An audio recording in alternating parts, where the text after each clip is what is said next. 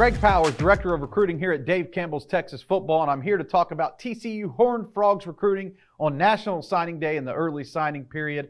And Sonny Dykes and his crew did an admirable job on the recruiting trail. They not only signed plenty of high school football talent, they've also been very active in the transfer portal. There's going to be a lot of new faces in Funky Town in 2024.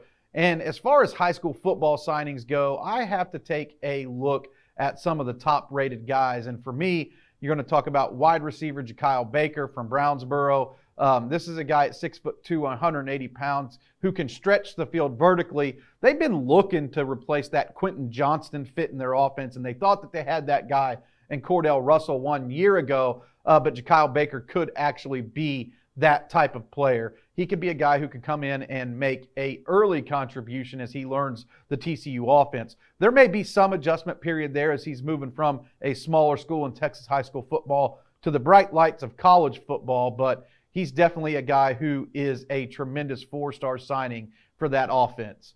But I'd be remiss if I didn't put number two rated four-star quarterback Hauss Hejny at the top of any TCU signing list this guy's signing is so important because they lost Chandler Morris out of that offense. And Hejny is actually projected to be the type of guy because of his dual threat capability who can step in and play right away.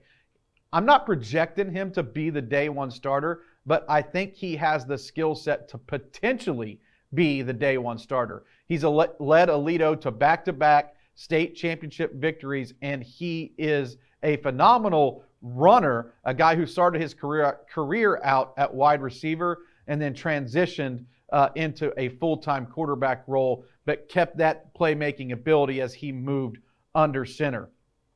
Nate Palmer is a signing that shouldn't be overlooked. All Nate Palmer does is win football games.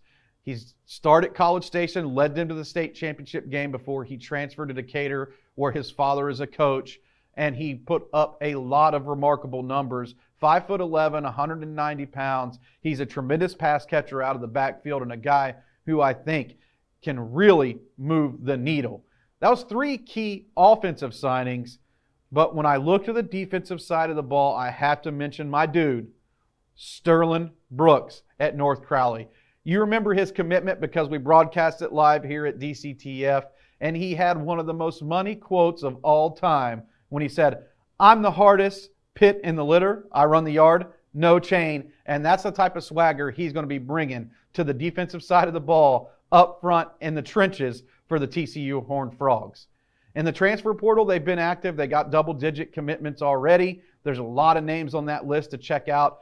I kind of like Remington Strickland, offensive lineman from Texas A&M, as a guy who can come in and be an instant impact type of player. That was a big get I think, on the transfer portal trail. But they have a lot of names, so you can check all that out and more. TexasFootball.com and Dave Campbell's Texas Football.